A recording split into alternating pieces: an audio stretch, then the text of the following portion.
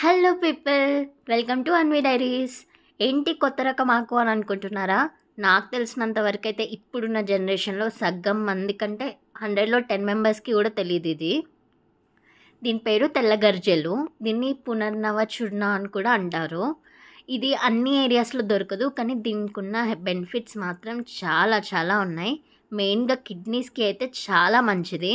దీన్ని మనం డైట్లో రోజు ఇంక్లూడ్ చేసుకున్నా కూడా పర్లేదు.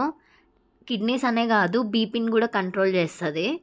దీనికి ఉన్న బెనిఫిట్స్ ఇంకా ముందు ముందు మనం తెలుసుకుందాం ఈ వీడియోలో. అలాగే దీంతో అసలు మనం ఎన్ని రకాలుగా కూడా చేసుకోవచ్చో కూడా చూద్దాము. ప్రస్తుతానికైతే తెల్లగర్జల పప్పు ఎలా చేస్తారో చూద్దాం. ముందుగా ఒక ప్యాన్లో ఆయిల్ వేసుకొని వన్ టేబుల్ స్పూన్ ఆవాలు కూడా వేసుకొని వన్ టేబుల్ స్పూన్ జీలకర్ర వేసుకోండి. ఇప్పుడు ఒక ఆరు నుండి ఏడు వరకు పచ్చిమిర్చి కట్ చేసి పెట్టుకుంది వేసుకోండి. ఇవి వేసుకున్నాక దీనిలో వెల్లుల్లి వేస్తే చాలా బాగుంటుంది టేస్ట్.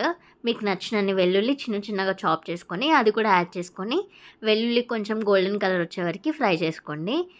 ఇప్పుడు ఇందులో రెండు రెబ్బల కరివేపాకు కూడా వేసి ఆనియన్స్ అనేది కంప్లీట్లీ ఆప్షనల్ వేసిన వైకున్నా కూడా ఏం కాదు. నచ్చితే ఒక చిన్న మీడియం సైజ్డ్ ఆనియన్ని చిన్న చిన్న కట్ చేసుకొని వేసుకోండి. వన్ టేబుల్ స్పూన్ పసుపు కూడా వేసుకొని అంతా ఒకసారి కలిపి ఆనియన్ ట్రాన్స్పరెంట్ కలర్ వచ్చే వరకు బాగా ఫ్రై చేసుకోండి. ఇప్పుడు మనకి ఆయిల్ అనేది ఇలా పైకి తేలుతూ ఉంది కదా. ఇప్పుడు ఇందులో మనం కనీసం ఫిఫ్టీన్ టు ట్వంటీ మినిట్స్ అయినా మినిమం నానబెట్టిన పెసరపప్పు ఇందులో యాడ్ చేసుకోవాలి. ఒక హాఫ్ కప్ కంటే కొంచెం తక్కువ పెసరపప్పు వేసుకోండి. పెసరపప్పు కానే కాదు ఏ పప్పులైనా నానబెట్టుకొని తింటే గ్యాస్ ప్రాబ్లమ్స్ అనేది రాకుండా ఉంటాయి. ఇప్పుడు ఈ పప్పు అనేది ఒక వన్ టూ మినిట్స్ ఫ్రై చేసుకోండి. ఇలా మనం పప్పు లేకుండా డైరెక్ట్ ఫ్రైలా కూడా చేసుకోవచ్చు తెల్లగర్జల్ని.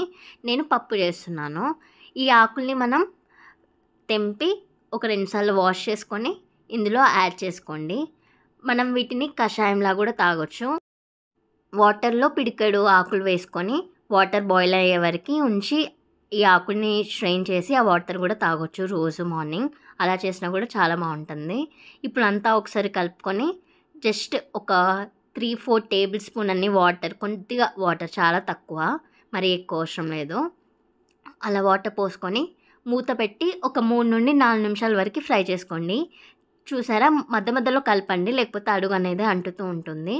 త్రీ ఫోర్ మినిట్స్ ఫ్రై చేసుకున్నారంటే ఎంత బాగుందో. వాటర్ అన్నీ ఇంకిపోయి మంచిగా కుక్ అయిపోయింది. ఆకు కానీ పప్పు కానీ. ఇప్పుడు మనం వేడి వేడి అన్నంలో కానీ చపాతీస్లో కానీ పుల్కాస్ ఎందులో అయినా తీసుకోవచ్చు. చెప్పాను కదా పప్పు ఇష్టం లేని వాళ్ళు మీరు ఫ్రైలా కూడా చేసుకోవచ్చు. చాలా చాలా బాగుంటుంది. అనేమియా ఉన్న వాళ్ళు కానీ కొలెస్ట్రాల్ ఉన్న వాళ్ళకి కానీ మంచి రిజల్ట్స్ ఉంటాయి ఇది అలవాటు చేసుకుంటే. ఇది అసలు ఎంతమందికి తెలుసో కమెంట్ చేయండి. ఈ వీడియో మీకు నచ్చినట్టయితే please like share comment and subscribe to Anvi diaries ఇలాంటి హెల్తీ వీడియోస్ ఇంకా ఏమేమి కావాలో మీరు కమెంట్ చేసి నాకు చెప్పండి.